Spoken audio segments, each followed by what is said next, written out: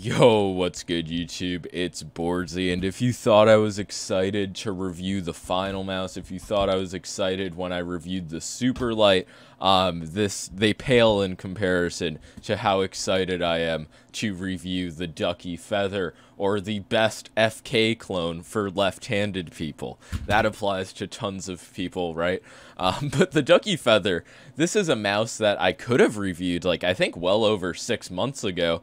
Um, I was, like, kind of led on by this one company that, not Ducky, that was like, we're gonna send you this mouse for review. And then that never happened, so I just bought it secondhand, lightly used, obviously, lightly used. So I feel like this is a copy that has a few months of wear on it, so I can really give an accurate and honest depiction of what the Ducky Feather is gonna look like like if you own it. First off, I just want to talk about these side grips. They aren't bad. That's really all I can say about them. You think they would be too small to really like work, but no, they're fine. Um, something I don't like are these right hand side buttons. It's just I personally I don't like it coming from a point of right-handed privilege, but if you are an oppressed left-handed person, I oh fuck god, that hurts to do. Um, but if you are a left-handed person, I guess having those side buttons on the right side would be nice. Um, but for me, whenever I fingertip on a mouse that has right-hand side buttons, it just gets in the way of my ring finger. And of course, these buttons are shit and are like mushy, have tons of pre-travel, so it's just always like my ring finger slightly pressing down a button. If I move my hand too fast, it'll fully press it down. So that's kind of fucking annoying. Um, but this mouse works if you claw grip. It is very close to the actual FK shape. A lot of times when we say FK clone, we say like FK inspired. Like you could say that the final mouse shape is like FK inspired, but it's not a fucking clone. This is close to being a clone. I'm pretty sure it's a few millimeters shorter, but I do not, uh, you guys know, I do not rock with measurements. They don't mean anything. Numbers are fake. We invented math. We did not discover it. Uh, but that's a debate for another day. Um, the cable is surprisingly good. Ducky making a very solid cable on their mouse. Um, so that's awesome. This mouse is $60. You get a good cable. You get decent feet, and you also get tons of replacement feet. Um, you see they have like the hybrid feet design, and you get you get a lot of feet in the box. Um, so that's kind of cool. The features I would say are solid.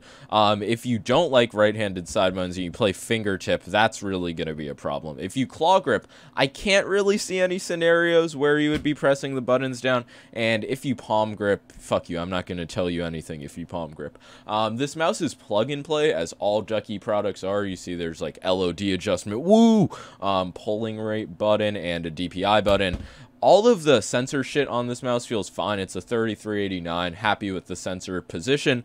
Um, no DPI deviation. You see they got the ring around it. And yeah, you can adjust the LOD. So the sensor implementation on a wired mouse is fine. I could have just said that, saved a lot of time. Uh, the build on this mouse, it is solid. Like there is a bit of flex and I can get it to actuate the buttons, but that's only if I put a lot of effort. And just in hand, it feels solid until you get to these main buttons. Um, you see there's a bit of, actually pretty significant amount of play. And while that play is happening, it's also creaking. So there's like this weird creaky pre-travel, which is why I'm saying this mouse is lightly used. It comes like that out of the box, but I don't know. Um, it, it, the clicks are pretty creaky. These are using Huano Blue Shell something dots. I don't know. I always get the dot color wrong, and then a few Southeast Asian people are mad at me. True story. Um, overall, the side button placement, why, why, did I just start talking about this? The Side button placement on the left side is very nice. I was using the mouse in Fortnite. The buttons don't feel that great, but they're very light to activate, and uh, they surprisingly feel worse on the right side. Maybe I put like a worse batch of the switches on the right side because they don't care about left-handed people, secretly sticking it to the man. Um, the scroll wheel, just beyond average, not very well-defined steps. It feels sort of like the HyperX Pulsefire Wheel.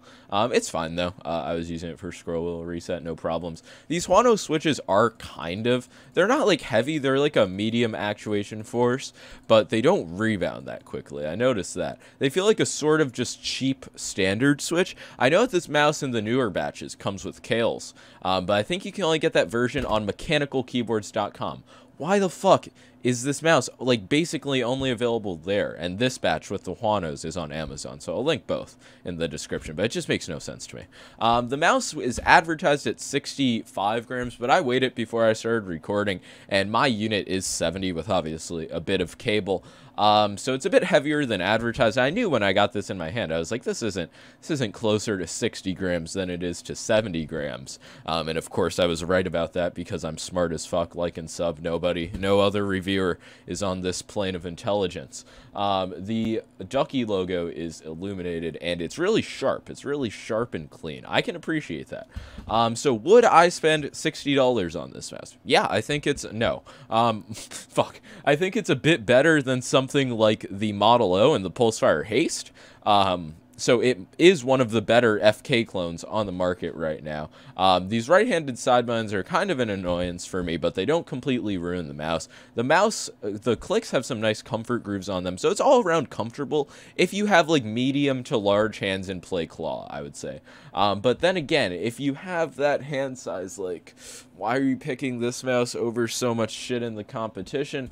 Um, I, I don't know. That's just a question I can't really answer. Nothing about this mouse makes it like stick out.